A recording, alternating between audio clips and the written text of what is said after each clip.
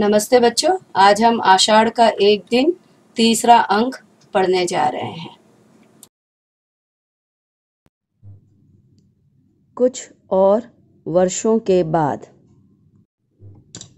वर्षा और मेघ गर्जन का शब्द। पर्दा उठने पर वही प्रकोष्ठ। एक दीपक जल रहा है। प्रकोष्ठ की स्थिति में पहले से बहुत अंतर दिखाई देता है। सब कुछ जर्जर और अस्त व्यस्त है। कुंभ केवल एक है और उसका भी कोना टूटा है। आसन अपने स्थान से हटा हुआ है और उस पर अब बाघ छाल नहीं है। दीवारों पर से स्वास्तिक आदि के चिन्ह लगभग बुझ चुके हैं। चूल्हे के पास केवल दो एक बर्तन हैं, जिन पर स्याही चढ़ी है। एक कोने में फटे मैले वस्त्र एकत्रित हैं। प्रकोष्ठ में कोई नहीं है। मातुल भीगे वस्त्रों से, मातुल भीगे वस्त्रों में बैसाखी के सहारे चलता हुआ आता है। चारों ओर दृष्टि डालकर एक लंबी सांस लेता है। नकारात्मक ढंग से सिर हिलाता है और प्रकोष्ठ के बीचों बीच आ जाता है। मैं हूँ मातुल। देखो, वर्षा ने मातुल की क्या दुर्गति की है। मल्लिका का स्वर अंदर से सुनाई देता है। कौन है? मैं हूँ मातुल। देखो वर्षा ने मातुल की क्या दुर्गति की है। सिर से और वस्त्रों से पानी निचोड़ने लगता है। मल्लिका अंदर से आती है। उसके वस्त्र फटे हैं रंग पहले से काला पड़ गया है और आँखों का भाव भी विचित्र सा लगता है। उसके व्यक्तित्व में भी प्रकोष्ठ की सी ही जीर्णता है। किवाड़ खुलने पर अंदर का जो भाग दिखाई देता है, वहाँ अब तल्प के स्थान पर एक टूटा पालना रखा है। मल्लिका बाहर आकर किवाड़ बंद कर देती है। आर्य मातुल आप इस वर्षा में वर्षा से बचने के लिए तुम्हारे घर के सिवा कोई शरण नहीं थी। सोचा जो हो, मातुल के लिए आज भी तुम वही मलिका हो। यह आषाढ़ की वर्षा तो मेरे लिए काल हो रही है। पहले जब दो पैरों पर चल लेता था, तब मैंने भारी से भारी वर्षा की भी चिंता नहीं की। परंतु अब यह स्थिति है कि बैसाखी आगे रखता हूँ तो पैर पीछे को फिसल जाता है, और पैर आगे रखता हूँ तो बैसाखी पीछे को फिसल जाती है। यह जानता कि राजप्रसाद में रहकर पाँव तोड़ बैठूँगा तो कभी ग्राम छोड़कर वहाँ नहीं जाता। अब पीछे से मेरा घर भी उन लोगों ने ऐसा कर दिया है कि कहीं पैर टिकता ही नहीं। इन चिकने शिलाखंडों से तो वहाँ मिट्टी ही अच्छी थी, जो पैर को पकड़ती तो थी। मैं तो अब घर के रहते बेघर हो रहा हूँ। न बाहर रहते बनता है, न अंदर। उन श्वेत शिलाखंडों के दर्शन से ही मुझे प्रासाद का स्मरण हो आता है जहाँ रहकर एक पाव तोड़ा। खड़े रहने में कष्ट होगा आसन ले लीजिए। मातुल आसन के पास जाकर बैसाखी रख देता है और जमकर बैठ जाता है। मुझसे कोई पूछे तो मैं कहूँगा कि राज राजप्रासाद में रहने से अधिक कष्ट का स्थिति संसार में हो ही नहीं सकती। आप आगे देखते हैं तो प्रतिहारी जा रहे हैं। पीछे देखते हैं तो प्रतिहारी आ रहे हैं। सच कहता हूँ, मुझे कभी पता ही नहीं चल पाया कि प्रतिहारी मेरे पीछे चल रहे हैं या मैं प्रतिहारियों के पीछे चल रहा हूँ। और इससे भी कष्टकार स्थिति यह थी कि जिन व्यक्तियों को देखकर मेरा आदर से सिर झुकाने का मन करता था, वे मेरे सामने सिर झुका देते थे, मेरे सामने। हाथ से अपनी ओर संकेत करता है। बताओ, मातुल में ऐसा क्या है जिसके सामने कोई सिर झुकाए? मातुल न देवी है, न देवता, न पंडित है, न राजा है। तो फिर क्यों कोई सिर झुकाकर मातुल की वंदना करे? परंतु नहीं, लोग मातुल की क्या, मातुल के शरीर से उतरे वस्त्रों की भी वंदना करने को प्रस्तुत थे। और मैं बार बार अपने को छू कर देखता था कि मेरा शरीर हाड़ मांस का ही है या चिकने पत्थर का हो गया है जैसे मंदिरों में देवी देवताओं का होता है।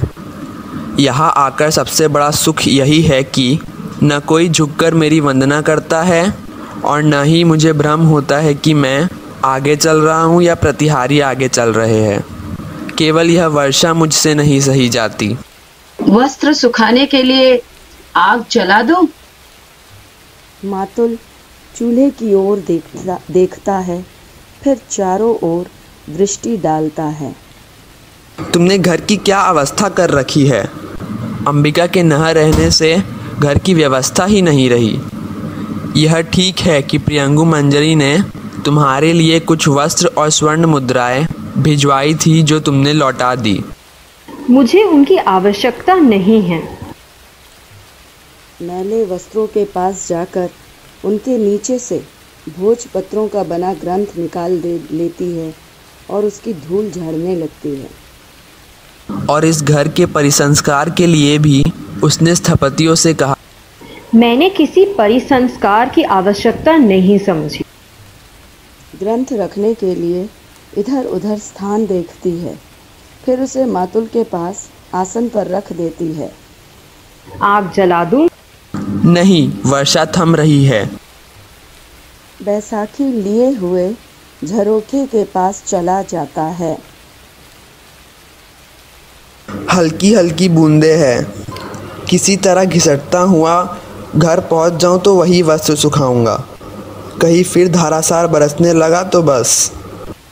झरोखे से हटकर मल्लिका के पास आ जाता है। तुमने कश्मीर का कुछ समाचार सुना है? मल्लिका गंभीर और स्थिर दृष्टि से उसकी ओर देखती रहती है। मैं हर समय घर में ही रहती हूँ। कहीं का भी समाचार कैसे सुन सकती हूँ? मैंने सुना है। विश्वास नहीं होता परंतु होता भी है। राजनीति में कुछ भी असंभव नहीं है। जितना संभव है कि ऐसा न हो उतना ही संभव है कि ऐसा हो। और यह भी संभव है कि जो हो वो ना हो। मल्लिका अप्रतिभ से उसकी ओर देखती रहती है। परंतु समाचार क्या है? समाचार यह है कि सम्राट का निधन हो गया है। कश्मीर में विद्रोही शक्तियाँ सिर उठा रही है। वहीं से आए एक आहत सैनिक का कहना है कि कि कालिदास ने कश्मीर छोड़ दिया है। उन्होंने कश्मीर छोड़ दिया है? वैसे ही अप्रतिभ से आसन पर बैठ जाती है। नहीं, उज्जैनी नहीं गया। वहाँ के लोगों का तो कहना है कि उसने संन्यास ले लिया है और काशी चला गया है। परंतु मुझे विश्वास नहीं होता। उसका राजधानी में इतना मान है, यदि कश्मीर में रहना संभव नहीं था तो उसे सीधे राजधानी चले जाना चाहिए था। परंतु असंभव भी नहीं है। एक राजनीतिक जीवन, दूसरे कालिदास। मैं आज तक दोनों में से किसी की भी दूरी नहीं पहचान पाया। मैं समझता हूँ कि जो कुछ मैं समझ पाता हूँ, सत्य सदा उसके विपरीत होता है। और मैं जब उस विपरीत तक पहुँचने लगता हूँ तो सत्य उस विपरीत से विपरीत हो जाता है। अतः मैं जो कुछ समझ पाता हूँ, वह सदा झूठ होता है। इससे अब तुम निष्कर्ष निकाल लो कि सत्य क्या हो सकता है कि उसने संन्यास ले लिया है या नहीं लिया। मैं समझता हूँ कि उसने संन्यास नहीं लिया। इसलिए सत्य यही होना चाहिए कि उसने संन्यास ले लिया है और काशी चला गया। मल्लिका आसन से ग्रंथ उठाकर वक्ष से लगा लेती है। नहीं ये सत्य नहीं हो सकता। मेरा हृदय इसे स्वीकार नहीं करता। मैंने तुमसे क्या कहा था? कि मैं जो कहूँगा वह कभी सत्य नहीं हो सकता। इसलिए मैं कुछ नहीं कहता। वह काशी गया है तो भी मैं झूठा हूँ। नहीं गया तो भी झूठा हूँ। यह तो ठीक है। बैसाखी पटकता हुआ चला जाता है। मल्लिका गुमसुम सी आसन पर बैठ, बैठी रहती है। नहीं, तुम काशी नहीं गए। तुमने सन्यास नहीं लिया। मैंने इसलिए तुमसे यहाँ से जाने के लिए नहीं कहा था। मैंने इसलिए भी नहीं कहा था कि तुम जाकर कहीं का शासन भार संभालो।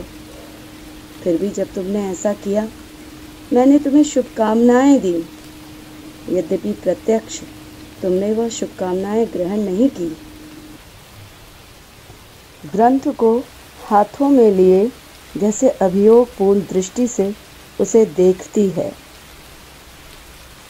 यद्यपि तुम्हारे जीवन में नहीं रही। परंतु तुम मेरे जीवन में सदा बने रहे हो। मैंने कभी तुम्हें अपने से दूर नहीं होने दिया। तुम रचना करते रहे और मैं समझती रही कि मैं सार्थक हूँ।